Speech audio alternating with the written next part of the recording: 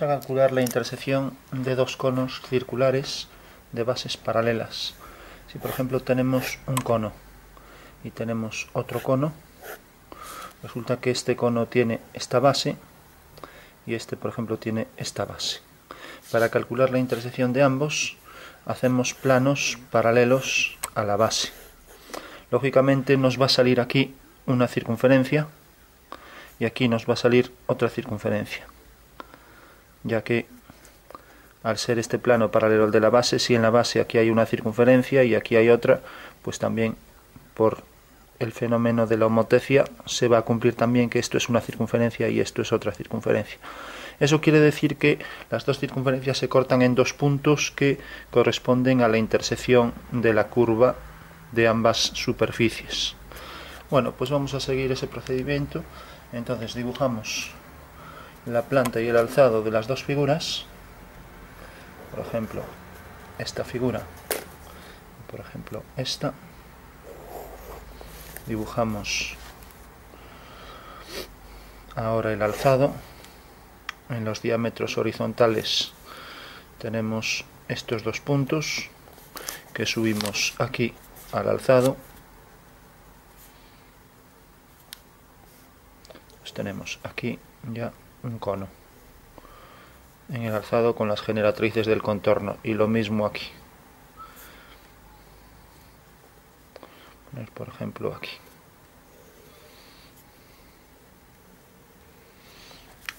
Tenemos entonces que la curva va a venir por aquí.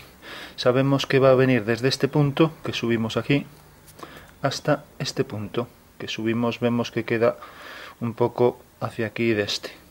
Subimos hasta aquí si por ejemplo hago un plano de corte paralelo al plano horizontal, pues tengo que este plano de corte corta a este cono según un diámetro que tiene esta longitud.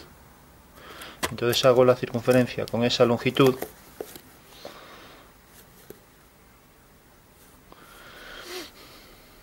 podría ser esta por ejemplo bueno estaría aquí la longitud esta sería y luego hago la longitud del diámetro de la otra circunferencia. Entonces hago el diámetro horizontal por el centro bajo este punto.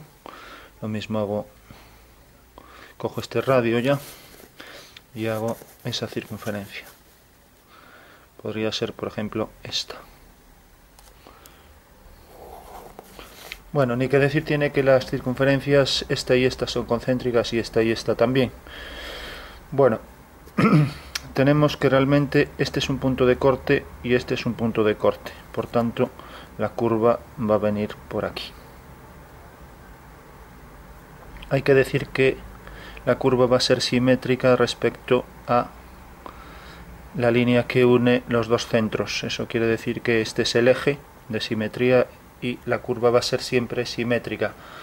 Hay que decir también que respecto a la horizontal del cono que está más hacia, hacia aquí, o sea, la horizontal que pasa, o sea, el diámetro horizontal que pasa por el centro, pues tenemos que la curva dejaría de ser visible justo a partir de aquí.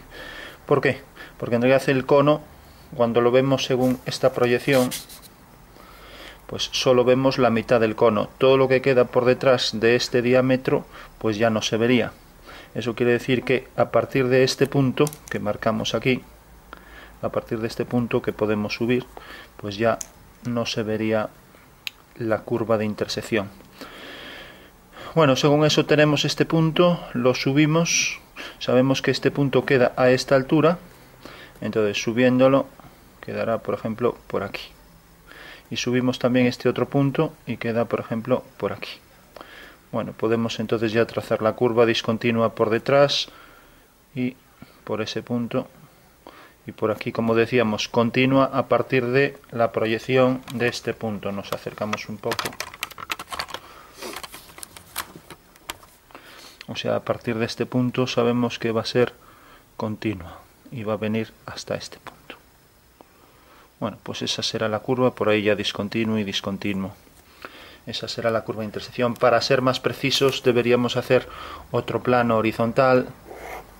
Este plano horizontal vuelve a cortar según esta circunferencia, otra que pasara por aquí y por aquí.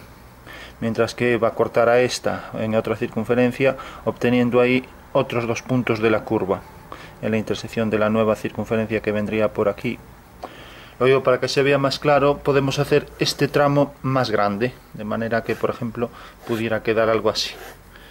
Entonces, aquí es más fácil ver al ser algo más grande, pero bueno, creo que el ejercicio es sencillo y que queda bien claro cuál sería esa curva de intersección, que es una curva alabeada, una curva cuyos puntos no están en un mismo plano.